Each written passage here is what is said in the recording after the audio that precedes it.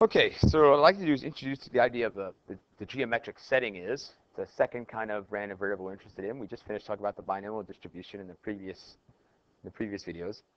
Um, geometric setting, it's going to start off, it's going to sound just like I'm talking about the binomial. So let's talk about some of its requirements. Number one, every observation is either a success, could be called a success, or a failure.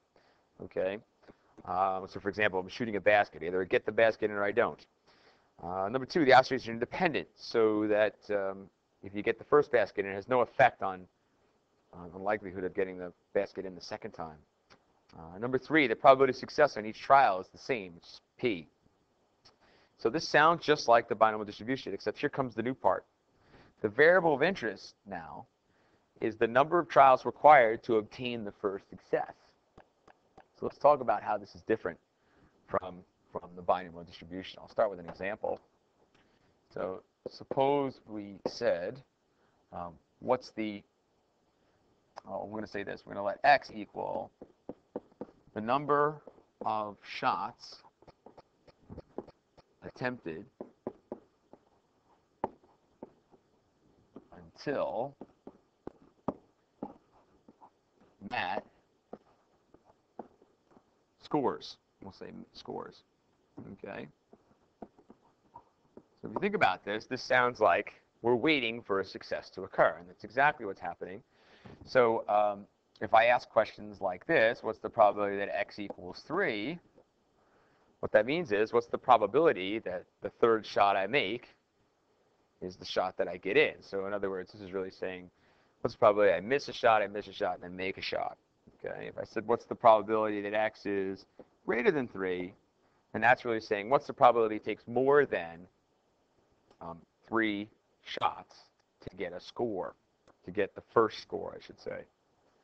All right. Um, so let's let's consider uh, an example. So let's let's actually take this example a little bit further. Let's say that the probability, and let's pretend it's me making the shot here. I'm not very good.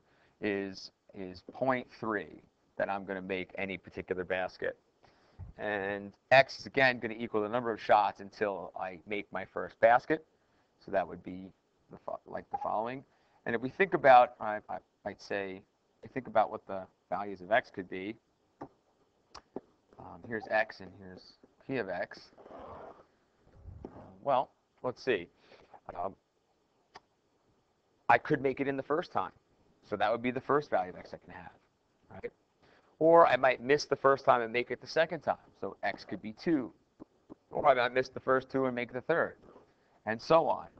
And here's where the big difference between the binomial distribution and the geometric distribution occurs.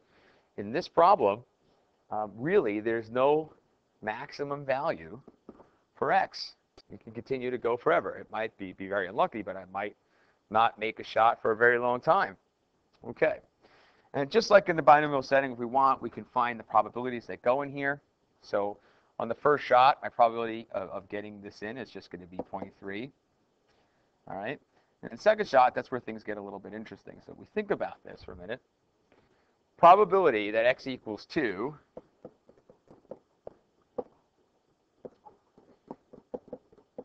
would mean the following. It would say I missed the first shot and made the second. So the probability I missed the first is 0.7 and the probability I make the second is 0.3. So 0.7 times 0.3 is 0.21. That's how you get the probability it goes there. Right, let's, let's consider a few more cases, and then we'll come up with a general formula. In this case, that's the probability that x equals 3. Think about that. Well, um, I would have to miss the first shot. I would have to miss the second shot, and then get the third shot in. So there's that probability, which is about 0.147. Okay. One more, and I think we'll get the idea. Here, if we want the probability that x equals 4, then I have to miss three shots. So I'm going to write that in a more compact way. I'm going to say I miss three times, and then I make it. Now, I don't know what that is in my head, so it's time to start resorting to the calculator.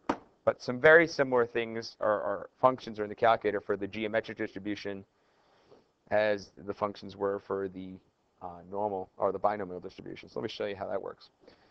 If we go to the calculator and you do second distributions, you get this menu again. And if you go up, and what do you know? Right away, what do you see? The geometric CDF, the geometric PDF.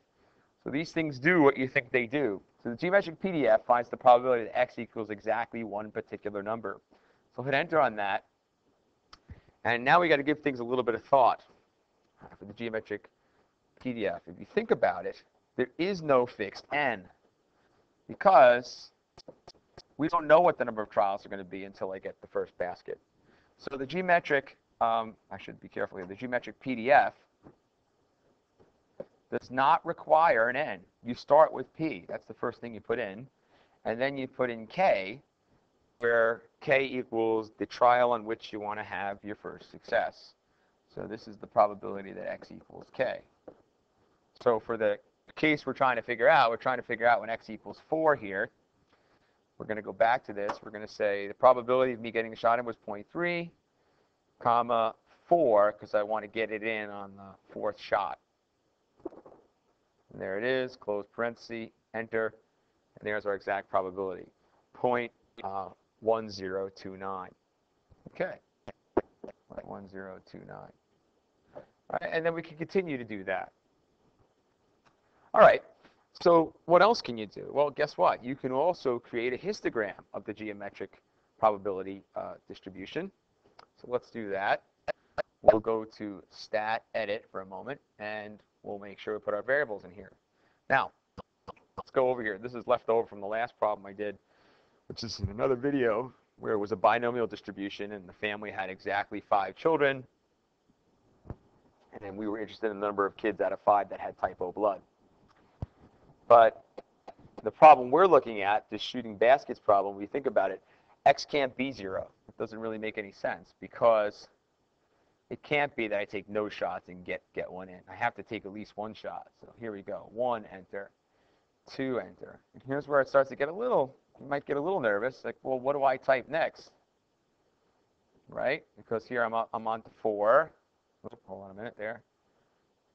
Four. Calculator's acting up on me here.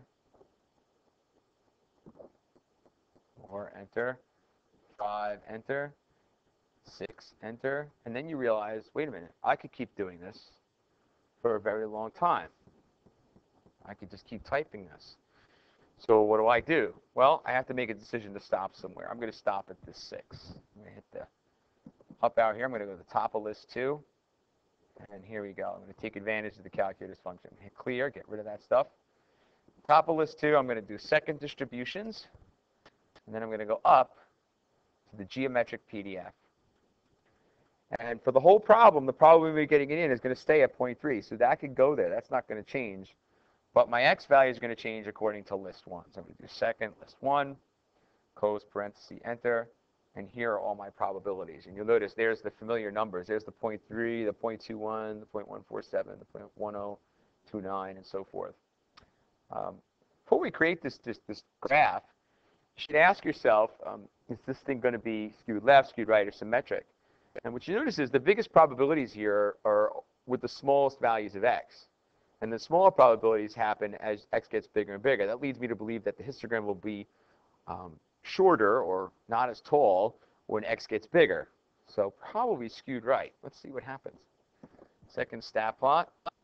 Here we are. It's set up from before, list 1, list 2. So that's good. You want to make sure you select the histogram. Okay. And then your X list is in L1 and your Y list or your frequency list is in L2. That's your probabilities. Again, if you press zoom 9, this isn't going to do well for you.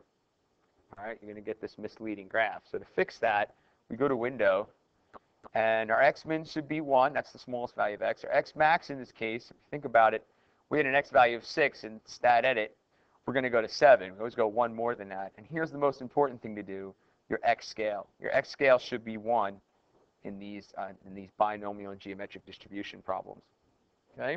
The biggest probability I had was a 0.3, so I'm going to go with a y max of, say, like point, you could go with 0.5 or 0.7 or something like that. That should be enough. Press graph, I get a look at this histogram, and when you know it, um, you have a skewed right distribution, just like we we talked about, we thought was going to occur. You can see that here, skewed right. Um, here's the fun part. If you think about this, you shouldn't be surprised at all. This first bar had a height or a probability of 0.3.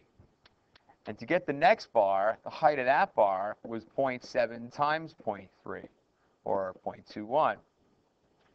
To get the height of the bar after that, it was 0.7 times 0.7 times 0.3, or let's think of it this way.